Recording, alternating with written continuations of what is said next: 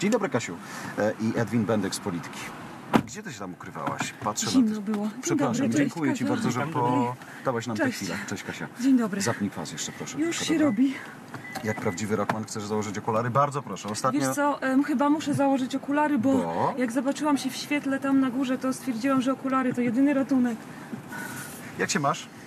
Bardzo dobrze, a ty? E, bardzo dobrze, chociaż moje milczenie nie trwało tak długo jak twoje. To publiczne. E, tam. e, tam. Słuchaj, możemy trochę ściągnąć na wiewo albo... Oczywiście, bardzo proszę. E, Podgrzewamy fotele, czy zostawiamy? E, nie, zwiewamy wystarczy, jak nie będzie Dobrze, dmuchało. to czekaj, to zamykamy, to zamykamy. Już jest pani zaopiekowana. Prawdziwy rockman. Czekaj, zobaczę, czy ja jestem godna widzów. widzów. Wiesz co, oni już patrzą, bo to wszystko na żywo, Właśnie. więc to już nie uciekniesz, no, choćby nie wiem jak bardzo, no. Okej. Ja myślałem, że wiesz, to tylko muzyka, a tam wygląd to jest wtórna rzecz, a tu się okazuje, Mm. że wszystko. A, Wszystko jest ważne, słuchaj. Ale fajnie. Słuchaj, uwielbiam Warszawę w takim, w takim klimacie. Słońce, pięknie. Mam płyty. No właśnie słyszę, widzę. Po tylu latach to one są pewnie tak wyczekane jak nie jedno dziecko w rodzinie. No. Słuchaj, wiesz, że ja właśnie dopiero zobaczyłam je pierwszy raz. To są, to są... A, jeszcze już wypadają. tutaj? Możesz, ale wszędzie są kamery, więc to możesz jak najbardziej. Y, Nawet możemy jedną z nich włożyć tutaj, niech nam posłuży do O, grania. Bardzo fajnie. Czyli tu mamy Manksa, tu mamy Manksa, wszędzie Tak, mamy y, tu mamy czarna- złotego Manksa, tu mamy innego Manksa. Czarna wersja jest deluxe tak zwana. E, zielona jest podstawowa, no ale cała płyta. Powiedz, słuchasz muzyki czasami? Oczywiście, Masz że tak. czas? Mam. A w jakim jesteś targecie? tak E, powiem? 40 plus. Ale czego słuchasz? Wiesz co, jestem w targecie, ostatnio, e, ostatnio jestem w targecie Radiohead, e, jestem ostatnio w targecie Julii Marcel, bo była tutaj u nas i jakoś tak sobie później e, skupiłem się już na niej. A dzisiaj mogę być z przyjemnością w targecie Stankiewicz, która wraca po przerwie i kusiczym. No właśnie, muzyka to najlepiej mówi sama za siebie. E, Chcesz pomilczeć, rozumiem. ale możemy pojeździć w milczeniu. Zobaczymy, jak długo to się uda. Ty masz ten moment, w którym jak słuchasz sama siebie, to zatykasz uszy, czy myślisz sobie, kurczę, Kaśka, wyszło godnie? Wiesz co, bardzo nieskromnie teraz powiem, że ja Czekaj, aż bardzo... ciszę, żeby Cię było lepiej słychać, jak Bardzo nieskromny. nieskromnie powiem, że ja lubię słuchać Stankiewicz. Naprawdę, ale ja mogę tak sobie pozwolić Mhm. na powiedzenie tego, bo mam taką teorię e, w tym temacie, że e, jak człowiek rodzi się z głosem, Mhm. rodzi się z jakimś talentem, to że to nie jest jego. To nie jest rzecz, którą sobie wypracował, Mhm. Czyli z- lubisz zrobił. słuchać Stankiewicz, bo ona i tak nie jest twoja. On, dokładnie, Okej. tak. Taką, Zawiła, ale fajne. Taką właśnie mam teorię. I, i y, tak, nagraliśmy z Various Monks, bo po to tutaj jestem, żeby Mhm. o tym powiedzieć. Dzisiaj jest premiera płyty zespołu Various Monks i Kasi Stankiewicz. Tytuł płyty nosi, płyta nosi tytuł End. Z T na koniec, Mhm. nie D, bo D już było. A, powiem wam, że enty to e, enty to ludzie, drzewa z, z Tolkiena zaczerpnięte Mhm. e, z trylogii. No i cóż, zespół jest w świetnej formie. Jansson napisał piękne piosenki. Stankiewicz do, do tego dorzuciła swoje teksty, swoją wrażliwość i myślę, że to jest takie połączenie Mhm. bardzo szlachetne i zacne naszych potencjałów. I jak sobie dzisiaj, nawet jak nasi widzowie, dlatego Kasia pewnie zapytała, w jakim ty jesteś targecie. Ja jeszcze Various Monks, nawet tamten sprzed, sprzed ciebie pamiętam doskonale. Tak. Ale y, jak się słyszy Jansson, słyszy się Stankiewicz, to to jest kawał historii polskiej muzyki. Nie? Właśnie zdałam sobie z tego sprawę mm, ostatnio dopiero, kiedy byłam na gali stulecia ZAX-u. E, I tam. E, Co wcale nie podczas- oznacza, że Kasia pamięta pierwszą galę. E, No właśnie, to na szczęście, a to może cały czas tak szybko leci i jest taki, taki, taki, wiesz, kosmicznie dziwny, że kto wie. Byłam na tej gali tam, a zebrane na tej gali wykonywane były utwory z ostatniego stulecia. Oczywiście Mhm. nie wszystkie, jakieś wybrane. No i w jakimś momencie zdziwiłam się, kiedy zobaczyłam na tych telebimach Orła cień. twarz Jansona, Ale twarz Stankiewicz e, i, i zabrzmiało Orła Cień. I ja sobie wtedy pomyślałam, że to, jest, to było wzruszające z tego powodu, że uświadomiłam sobie, że jako osoba, która no jeszcze nie zdążyła wyjść z młodzieńczości, a już rzeczy, które tworzyła, weszły do kanonu i do historii. Takie, no w jakimś Do sensie. historii, do historii, wiesz, tej, te, te, te, tego, tego, do, no już weszły do historii. Ale to, to jest bagaż dla ciebie taki... On cię kiedykolwiek uwierał? Jak próbowałaś być, wiesz, Stankiewicz, a nie Wariusowa? Bardzo długo e, Hmm. miałam z tym problem, ponieważ e, wiesz, taki kolosalny debiut determinuje e, postrzeganie ciebie jako artysty, Mhm. jako człowieka, a więc bardzo długo rzeczywiście było tak, że ja chciałam się od tego uwolnić i chciałam Mhm. pokazać e, światu inną paletę barw moich muzycznych. Ale się okazało, że ten orzeł stał się moim logo e, i stał się, tak, tak się przykleił do mnie i że w sumie za każdym razem, kiedy się pojawiał w moim życiu, przynosił mi szczęście, Mhm. że stwierdziłam, że w sumie głupie jest odcinanie się od tego i trzeba się pogodzić, jakby zaakceptować e, tą sytuację, a to nie jest nic strasznego, no jest to po prostu piękny utwór, który dzisiaj już szanuję i który lubię, dzięki niemu mogę spełniać swoje marzenia muzyczne i Dzisiaj już mam. szanuję. Szacunek mam ogromny, Okej. tak. Ale czyli nienawidziłaś go? Ale, Tak. Aha, pojawił się szacunek po ilu latach? No właśnie nigdy nie byłam dobra z matmy. Po wielu. To jest... To jest najlepsza odpowiedź zawsze. Nie, po wielu latach, panie redaktorze. Wiesz co, naprawdę nie Ale co to znaczy, że on dał ci 20 szansę, żebyś dzisiaj robiła swoje? To znaczy musiałaś go wyśpiewać milion siedemset pięćdziesiąt jeden tysięcy razy, żeby dzisiaj robić swoje po prostu, tak? Mm, Wiesz, to była taka piosenka, dzięki której y, y, ktoś usłyszał mój Mhm. głos. Y, Poznałam dużo ludzi, z którymi znajomości dały mi szansę robienia dalej swobodnie muzyki. Mhm. Nie musiałam się przebijać tak przez, przez i gąszcze, e, tylko mogłam e, wejść do studia i jakby robić to, co do mnie należy, czyli muzykę. Najpiękniej jak potrafię skupić się na tym. Dzisiaj to jest łatwiejsze, trudniejsze. Nie chcę, bo to może brzmieć bez sensu, jak ja powiem Pani Kasiu, czy dzisiaj robienie muzyki, a pamięta Pani wtedy, to nie chcę wracać aż do takiej prehistorii, ale dzisiaj, kiedy się popatrzy na polski rynek muzyczny, e, to tak, nie jest już wstydliwe śpiewać po polsku. To brzmi fantastycznie, to brzmi profesjonalnie, to brzmi jak e, no, bardzo zachodnio, choć to też może złe słowo. Mm, I bycie na nim, nie wiem, czy jest łatwe, czy trudne dla Ciebie. E, Dla, myślę, że dla, dla w ogóle myślę, że zawsze rynek e, sztuki e, dla twórców e, jest trudny. Mm, Dlatego, że efekty naszej pracy nie zawsze są adekwatne do ilości włożonej energii, emocji, finansów. E, Można e, stworzyć naj, największe dzieło swojego życia, a się okazuje, że w, jakimś momencie e, nie ma na to w ogóle zapotrzebowania, a można zrobić coś od tak po prostu, co nagle pofrunie w świat i, i, i z jakichś nieoczekiwanych powodów. No musi się na to złożyć dużo rzeczy. Po pierwsze musi być ten artysta z tą swoją wrażliwością, chociaż w dzisiejszych czasach to już niekoniecznie, jak wiemy, no ale dobrze, trzymajmy się jeszcze Tak, tego ideału.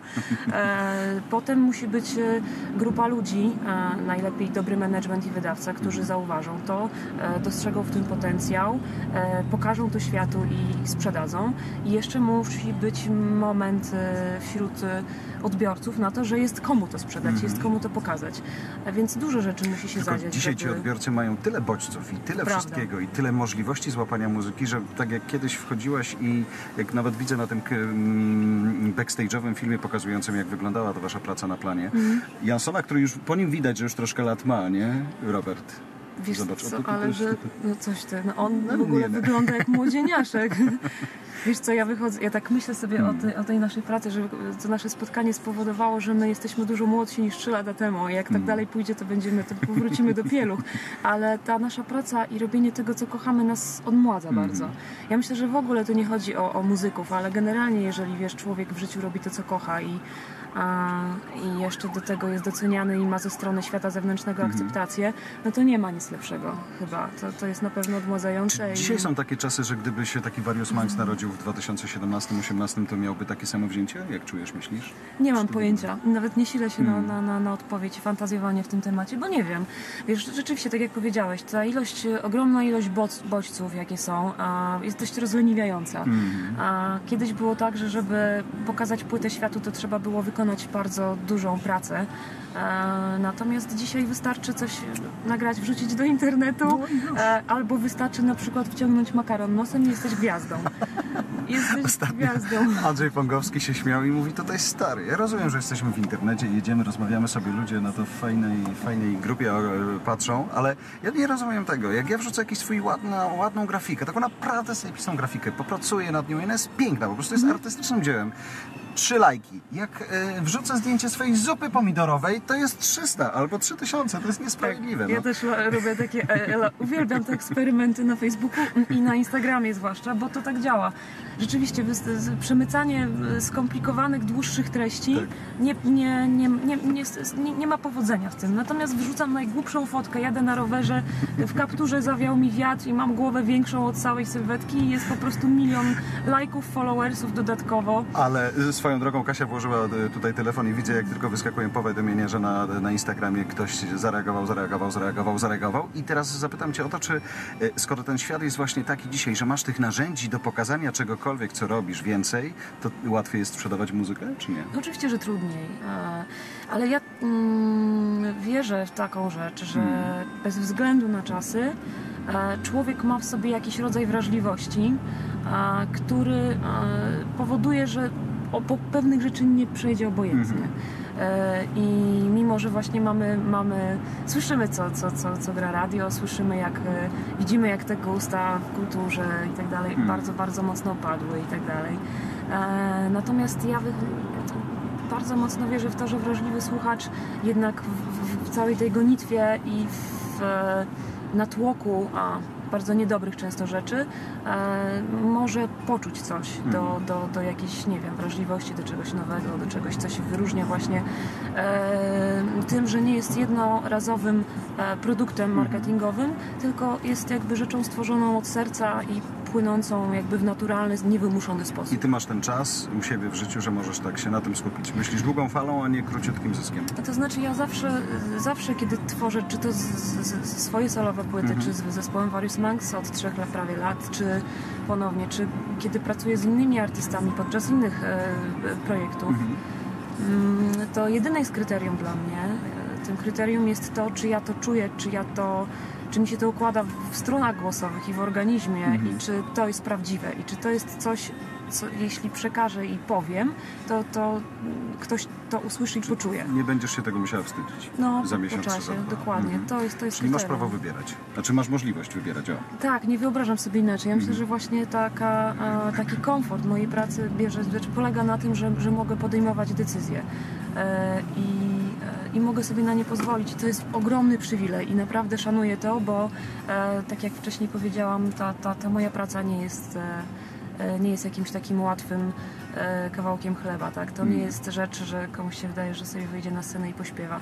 To jest e, praca na emocjach i to jest e, bardzo e, e, ciężka momentami rzecz, dlatego że musisz jakby wejść w swoje wnętrze, wyskrobać, Mhm. dłubać w tych emocjach i jeszcze przekazać to światu, a potem umieć to obronić. Więc e, jest tego, jest tego jesteś bardzo, przez lata bardzo dużo. przećwiczona, tylko pytanie, bo dzisiaj właśnie jest tak, że e, kiedyś w, wydawałaś płytę, ona miała swoją określoną liczbę utworów, ona miała tą książeczkę, która pachniała wszystko, wszystko, wszystko Mhm. i się zaczynała. Dzisiaj tak naprawdę, e, jak sobie rozmawiamy tutaj z różnymi ludźmi, czasem wiesz, jeden, drugi utwór wrzucony na test, nie? I zobaczymy, co ta publiczność nam powie. Czy my mamy skręcać w lewo, czy w prawo, czy to jest ta nuta, czy nie. Mhm. Ewentualnie wszystko zmienimy. No właśnie e, bardzo nie chcieliśmy e, Mhm. pójść tą drogą. Kiedy z, naturalnie zaczęło się dziać, kiedy naturalnie w zespole zaczęliśmy rozmawiać o tym, że może to jest czas na Mhm. nową wspólną płytę, to nasze kryterium było jedno. To, aby nam się to podobało, Mhm. to, aby to zaspokoiło nasze e, zespołowe, e, artystyczne e, potrzeby. Wierząc, że w ten sposób też wasza publiczność to kupi. Nawet nie myśleliśmy o tym, nie, nie było potrzeby takiej wiary. Po prostu mieliśmy potrzebę stworzenia czegoś wspólnie. I ja myślę, że właśnie przez taką naturalność i przez taką prawdziwość e, ten album się wyróżni e, i ten album może. Ludzie mogą nie przejść obok tego obojętnie, bo to powstało z potrzeby tworzenia, a nie po to, żeby zaspokoić e, e, potrzeby portfela, Excela i dopasować się do dzisiejszych czasów. No też myślę, że jesteśmy już jakby e, za duzi, żeby, żeby, Żeby e, iść, za, iść za modą. Ja myślę, że, że nie wolno iść za modą, trzeba robić w sztuce swoje rzeczy, Mhm. te, które się czuje i które się kocha. Ale też dlatego, że brand Various Max czy marka Various Max jest na tyle silna, że ona się już, e, choćby nie wiem, co się działo na rynku i co się działo w gustach ludzi słuchaczy, to ona się obroni? E, Ja myślę, że ja myślę, że połączenie naszych potencjałów daje taką mieszankę wybuchową, e, która obok której mam nadzieję nie przejdzie się Mhm. obojętnie, bo jednak e, to nasze połączenie się 20 ponad lat temu, kiedy Robert stworzył o Orła Cienia. Napisałam do tego zlepek e, słów, wyrazów, które w zasadzie nic nie znaczyły poza tym, że miałam intencję taką, aby Mhm. ta piosenka dawała ulgę i niosła jakieś uczucie wolności, Mhm. jakkolwiek to brzmi, to okazuje się, że to e, w bardzo krótkim czasie no, spowodowało jakiegoś rodzaju wariusomanię w ogóle w Mhm. tym kraju i te nakłady. Myśmy w sumie sprzedali ponad milion płyt. E, To się już nie zdarza. I Chociaż no, życzę. To się już nie zdarza, to prawda, bądźmy realistami. E, I, i czuję, że, że, że to, że my znowu jesteśmy razem, e, znowu coś robi e, dobrego i wyjątkowego. I ja się strasznie na to cieszę. E, Dzisiaj to musisz przeliczyć, Kasia, na streamy, wiesz. Ile to by było streamów? Błagam cię, ja jestem słaba z mat, więc nie będę liczyć. E, ale mogę zaprosić na koncert 23 kwietnia w Palladium. W Teatrze Palladium zagramy tą nową płytę premierową. E, oprócz tego, że mam nadzieję będzie to uczta dla ucha, to także dla No oka. właśnie, bo to dzisiaj ma też ogromne znaczenie, nie? Chociaż, co jest też fajne, jak patrzy się po rynku, wideo niesamowicie sobie rośnie i jest potrzeba ogromna, ale że dzisiaj też ludzie zaczynają wracać do fajnego audio, to znaczy zaczynają sobie mm, ćwicząc słuchać e, muzyki albo, albo książek, albo podcastów i tak dalej, ale jednak to musi być ładne w obrazku też, nie? Musi być, chociaż e, e, myślę, że też fajnie jest w pozycji poziomej po prostu sobie e, zastygnąć i założyć słuchawki na uszy i po prostu odpłynąć w, świat swojej wyobraźni pod wpływem muzyki, ale no, w przypadku tego projektu tak się zdarzyło, że poznaliśmy ilustratorkę książek, Julkę Konieczną, która s- narysowała piękne ilustracje do tej płyty. I te ilustracje na koncertach będą uruchomione. A, no myślę, że to może być piękne, piękne widowisko, ale tak trochę jak zadawałeś to pytanie, zamyśliłam się nad czymś innym, bo mm, myślę sobie, że to jest dla ciebie spore takie wiesz, wyzwanie, jak ty jedziesz, po to jeździsz po tej Warszawie Tak. i musisz się przygotować jednocześnie na rozmowy z różnymi Tak. ludźmi w ogóle na rozstrzale z różnych bajek. Ja już się boję finału tej wypowiedzi, ale mów. E, e, Nie ma finału, Aha, w zasadzie tak jestem pod wrażeniem, bo to jest Wczoraj- taka podzielność uwagi, trzeba mieć czas, żeby się do tego przygotować No, jeszcze. staram się mieć. Już mam też swoje lata, ale staram się jeszcze rzeczywiście mieć, no żeby później gość wysiadający z samochodu nie, nie, nie miał poczucia, że to był dla niego stracony, stra- stracony czas, więc wierzę, Mhm. że się to także i nam uda, ale jak ostatnio z Morelą Rodowicz jeździliśmy po jej, e, po, jej, po jej okolicy, ona mówi, wie pan, że ja jestem na scenie x lat e, i że był tylko jeden, jedyny moment w moim życiu, kiedy publiczność nie poprosiła mnie o Małgośkę. Orzeł, to jest coś takiego u Ciebie też? Że wiesz, Tak, zapraszasz do Palladium, wszyscy przyjdą, nowy projekt, cu- cuda, wianki, obrazy i tak dalej i nagle publiczność krzyczy Orzeł! Kaśka, orzeł! No, z Orłem jest tak, że czasami podczas, e, e, już, już w połowie koncertu e, ludzie Już. domagają się Orła.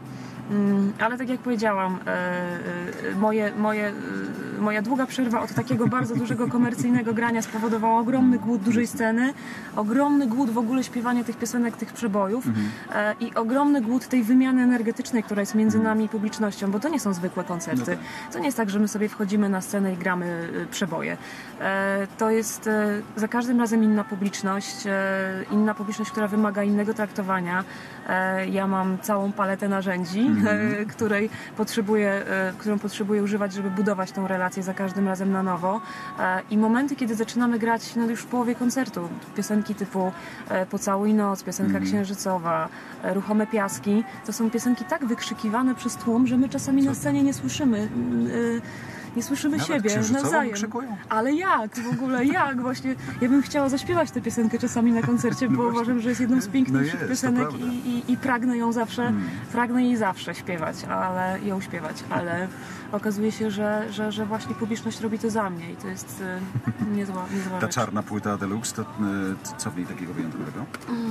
No właśnie, w dobrym momencie to pytanie, bo a- na przykład piosenka księżycowa, Mhm.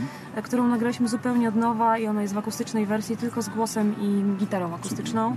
E, Do tego jest piosenka, którą zagraliśmy kiedyś e, e, do jednego wydarzenia sportowego Biegni oraz jest piosenka Breath, która jest w języku angielskim, jest remixem, piosenką zrobioną specjalnie na potrzeby mm, moich sportowych też wyczynów, ponieważ w tym roku zostałam ambasadorem Ironman Enea Gdynia. Przygotowuję się w ogóle teraz do tego wyczynu. Że ty jesteś Ironmanka? E, jeszcze nie. Jeszcze nie. Ale naprawdę intensywnie e, przygotowuję się do tego, bo bycie, bycie e, e, ambasadorem tej imprezy no, wezwało mnie do tego, aby wziąć w tym udział i muszę przepłynąć, przebiec i pojechać na rowerze. Więc po dwa treningi dziennie, Ale do tego ile? promocja Ile wody. masz, poczekaj, przepłynąć ile? E, 750 metrów. Okej, To jest e, 20, 5 km biegnę i 20 km jadę na rowerze. Czyli to jest odległość sprint, najmniejsza, Mhm. no ale dla amatora, który nigdy nie był przygotowywany e, sportowo, e, to jest Przynajmniej to, wiadomo, jest czego to będziesz wyzwanie. słuchać, nie? W czasie. Kasiu, dziękuję bardzo za Ja spotkanie. też, Czy ja potrzebujesz dziękuję. płytę? Poczekaj, zabierz tylko, żebyś wzięła swój albo mój. Który jest twój? Gdzie jest więcej powiadomień? Ten jest twój, dobra. Płytę jeszcze tylko Gdzie jest więcej powiadomień? Wychodzi. Bardzo proszę. Dziękuję. Czarna, piękna płyta. Bardzo O, było mi miło spędzić z Wami poranek. Dziękujemy. Tak sobie tutaj E, zawsze plotkujemy. Ludzie mówią zwykle więcej niż by chcieli, także tyle dobrego po naszej stronie. Wszystkiego dobrego, Cześć, do zobaczenia. Dziękuję, Kasiu. Dziękuję. Powodzenia i do Nawzajem, zobaczenia. nawzajem. E, Trzymaj się.